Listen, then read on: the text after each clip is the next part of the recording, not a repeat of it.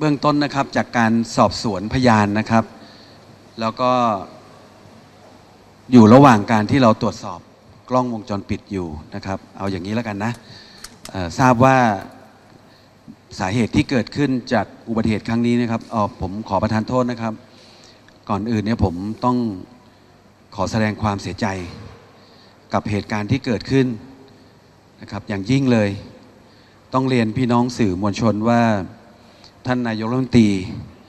ท่านเสียใจมาก แล้วก็ได้เดินทางมาดูที่เกิดเหตุ ไปที่โรงพยาบาลแพทย์ลังสิตนะครับ ไปดู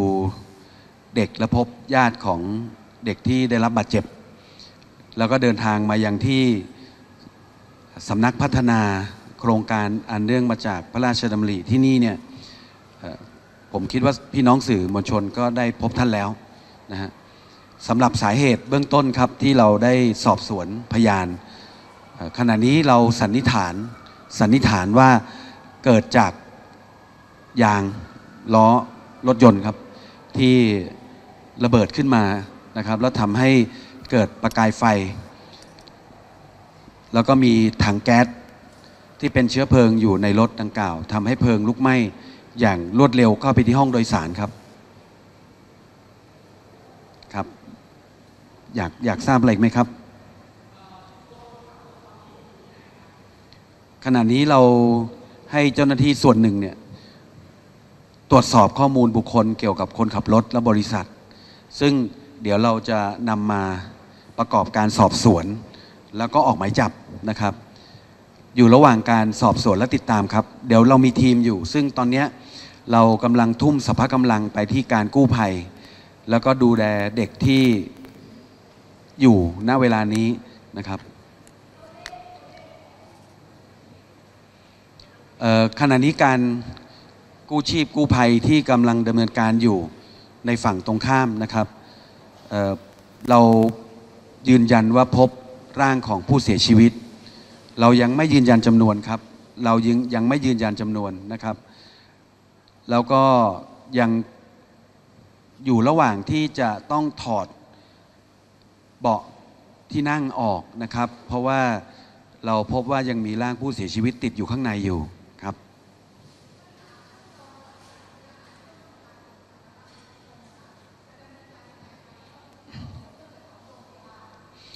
เดี๋ยวเมื่อเรานำร่างผู้เสียชีวิตออกมาทั้งหมด เมื่อสักครู่นี้ผมก็ทราบว่าเราไม่สามารถที่จะพิสูจน์บุคคลได้ณที่เกิดเหตุ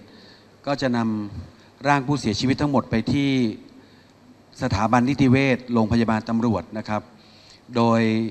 ได้สั่งการถึงท่านผู้จัดการพิสูจน์หลักฐาน ให้ร่วมมือกับแพทย์นิติเวช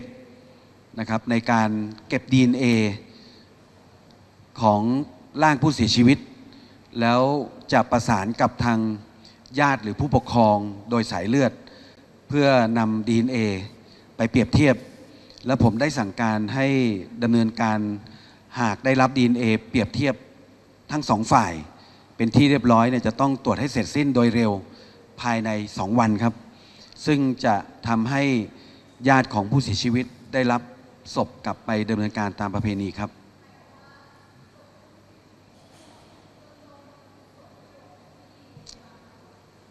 ถูกต้องครับ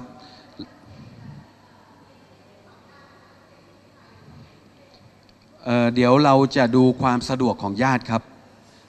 ว่าเราจะสามารถให้ทางแพทย์ที่อุทัยเนี่ยเก็บ DNA มาได้หรือไม่แต่ถ้าให้ชัวร์ร้อยเปอร์เซ็นต์นะครับ เราอาจจะประสานงานขอให้เดินทางมาที่นิติเวชโรงพยาบาลตำรวจ เพื่อจะเก็บ DNA เพื่อให้เกิดความชัดเจนในการเก็บ DNA ต่อหน้าแพทย์ครับ แล้วก็ผู้เชี่ยวชาญ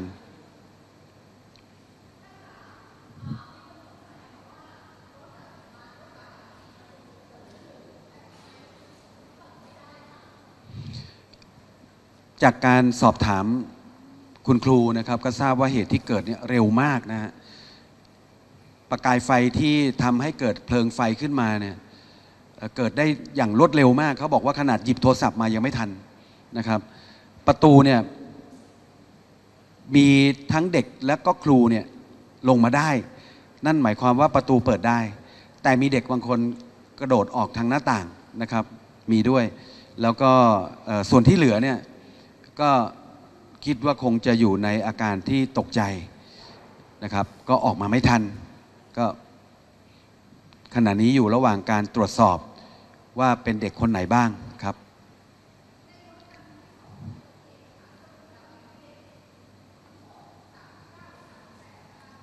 เป็นคุณครู 6 คนครับ แล้วก็เด็กนักเรียน 39 ครับ รวม 45 คน เป็นเป็นเด็กที่ออยู่ในระดับอนุบาลประถมและมัธยม มีทั้งหญิงและชายปนกันครับ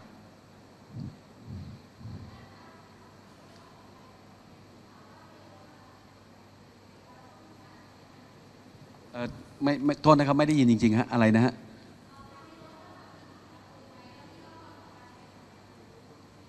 เดี๋ยวเราตรวจสอบอีกทีครับ เพราะว่าสภาพรถเนี่ย เราเราเจอตอนเกิดเหตุ สภาพรถนี่โดนเพลิงไหม้อย่างรุนแรง เดี๋ยวเดี๋ยวเราตรวจสอบอีกทีครับ ว่าว่าสภาพรถมีความพร้อมในการแก้ไขปัญหาที่เกิดเบื้องต้นไหม เพราะจะอยู่ในในขั้นตอนของความประมาทหรือไม่ครับ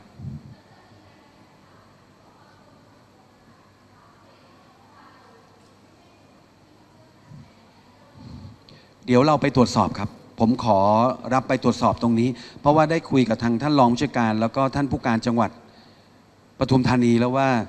เเรื่องข้อมูลบุคคลเนี่ยเดี๋ยวเราต้องตรวจสอบให้ชัดเจนว่าเป็นพนักงานที่บริษัทรถส่งมาหรือไม่อย่างไรนะครับ ตรงนี้ขอไปตรวจสอบและสอบสวนให้ชัดเจนครับ ครับทราบว่าเป็นรถของบริษัทเอกชนครับ ตอนนี้เดี๋ยวผมขอข้อมูลตรงนี้ก่อนพอดีอยากให้ข้อมูลเบื้องต้นที่สื่ออยากทราบก่อนนะครับ ไม่มีไม่มีอะไรปิดบังครับ เพียงแต่ว่าผมผมเองเป็นคนย้ำทางท่านผู้การครับว่า การดำเนินคดีเนี่ยจะต้องสอบสวนให้ปรากฏข้อเท็จจริง ว่าเกิดจากความประมาทของคนขับและบริษัทรถหรือไม่อย่างไรเหมือนที่สื่อถาม หากไม่มีอุปกรณ์ในการป้องกันอย่างไรเนี่ยแสดงว่าไม่มีความพร้อม ในการที่จะแก้ปัญหาเมื่อเกิดเหตุเบื้องต้น ซึ่งเข้าข้อกฎหมายเรื่องประมาทหรือไม่นะครับ ตรงนี้ผมได้ย้ำว่าทั้งบุคคลและบริษัทจะต้องถูกดำเนินคดีด้วยครับ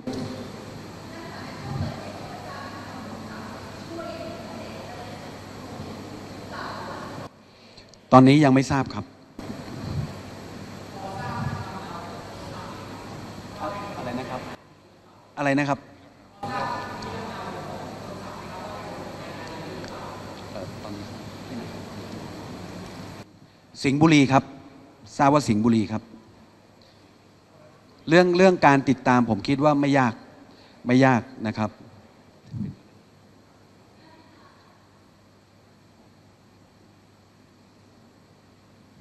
ครับเชิญถามต่อครับ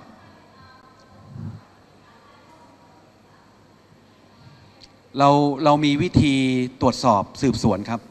ผมถึงบอกว่าเรื่องการติดตามคนไม่ยากครับไม่ยาก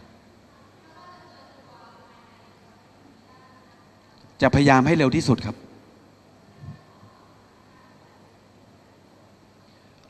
มีเด็กอยู่ที่โรงพยาบาลแพทย์รังสิตสามคนครับ ที่มีอาการมากมากกว่าคนอื่น ส่วน 16 คนที่อยู่ที่สำนักงานนี้ ขณะนี้เดินทางขึ้นรถกลับแล้ว ไม่มีอาการเจ็บหรือว่าได้รับอันตรายครับ เอ่อ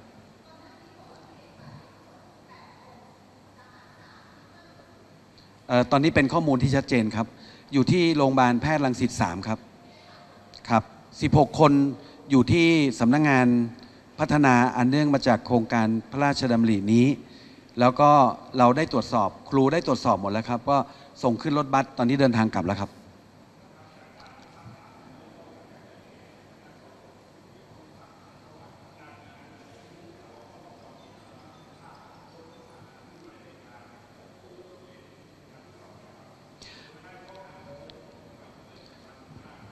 มีปัญหาที่ยางรถก่อนครับ มีปัญหาที่ยางรถแล้วก็สายไปโดนรถคันอื่นครับ ไม่ได้มีรถคันอื่นเข้ามาเกี่ยวข้องในการสอบสวนเบื้องต้นนะครับ เป็นช่องทางเดินรถปกติของเขาครับครับ แล้วก็รถที่เกิดเหตุเนี่ยเกิดปัญหาที่ยาง แล้วก็ไม่สามารถควบคุมรถได้ครับ เดี๋ยวรอดูข้อมูลที่ชัดเจนอีกทีครับเอ่อ ตรงนี้เดี๋ยวเราจะต้องไล่กล้องดูครับ เป็นข้อมูลอีกทีแต่ว่าทราบทราบว่าเกิดเกิดที่ยางครับ ทราบว่าเกิดที่ยาง แต่ว่าในลึกกว่านั้นขอให้ทางสพทได้ได้ตรวจสอบพิสูจน์ทราบอีกทีครับ อะไรนะ คนขับรถอะไรเป็นเป็นคนอะไร คือเรื่องคนขับนะครับ ผมยืนยันว่าเดี๋ยวเราจะตรวจสอบ ขณะนี้ผมผมผมเชื่อว่าทางท่านผู้การรองผู้จัดการเนี่ยได้ข้อมูลบางส่วนนะครับ จะไม่มีการไปช่วยเหลือใด ๆ ทั้งสิ้นกับเหตุที่เกิดแบบนี้ครับนะครับ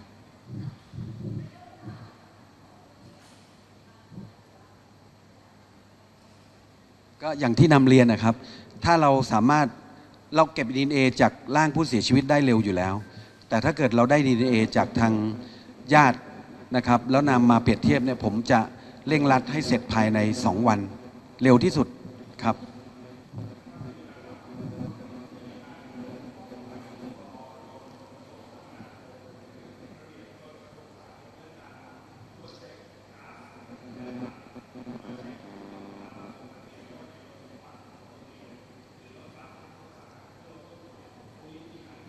จริง ๆ ผมเรียนอย่างนี้เลยว่าเรื่องนี้มีมานานแล้ว แล้วเป็นมาตรการทั้งขนส่ง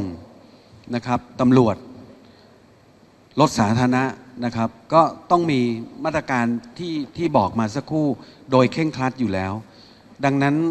ในกระบวนการสอบสวนเนี่ยจะต้องดูประเด็นพวกนี้ด้วย ถ้าบริษัทเจ้าของผู้ขับขี่ละเลย อันนั้นคือ เป็นองค์ประกอบความผิดเลยนะครับ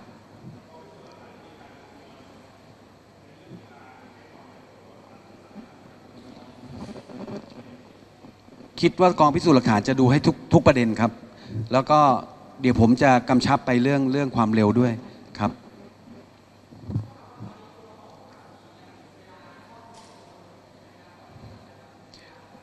ใช้คำว่ายังหลบหนีครับ ใช้คำว่ายังหลบหนี แต่เราคงไม่นั่งรอให้มอบตัวครับ เดี๋ยวท่านรองผู้จัดการเนี่ยส่งทีมสืบสวนเนี่ยออกติดตามแล้วนะครับ ถ้าได้ตัวเร็วยังไงก็จะให้ทางภาคหนึ่งได้แจ้งสื่อมวลชนทราบทันทีครับ ยืนยันครับว่าเหตุการณ์เช่นนี้เนี่ยมันทำให้เกิดความเศร้าสลดและเสียใจอย่างยิ่ง ดังนั้นเรื่องการที่จะไปบิดเบือนข้อเท็จจริง หรือช่วยเหลือใครเนี่ยไม่เกิดขึ้นเด็ดขาด ท่านนายกรัฐมนตรีก็เน้นย้ำครับว่าให้ดูแลสุขภาพจิตใจของเด็กที่รถบัสที่หนึ่งรถบัสที่สามแล้วรถบัสที่สองที่ที่ได้ที่ปลอดภัยด้วยนะครับท่านท่านเน้นย้ำมากนะครับ แล้วก็เมื่อสักครู่เองเนี่ยทางตำรวจเราเองก็ได้ประสานกับครูครับเพื่อตรวจสอบยอดจำนวนนักเรียน แล้วก็ได้จัดรถทางหลวงนำปิดปิดท้ายด้วย ที่จะนำไปสู่จังหวัดอุทัยธานีที่อำเภอลานสัก ให้เรียบร้อยภายในหัวค่ำนี้นะครับขณะเดียวกันเนี่ยเราตำรวจทหาร เราก็ได้จัดเครื่องดื่ม แล้วก็อาหารว่างขึ้นรถด้วย เพื่อให้เด็กได้ได้ได้ทานในระหว่างเดินทางกลับครับ เดี๋ยวถ้ามีข้อมูลอะไรเพิ่มเติมก็จะเรียนให้ทราบเป็นระยะนะครับ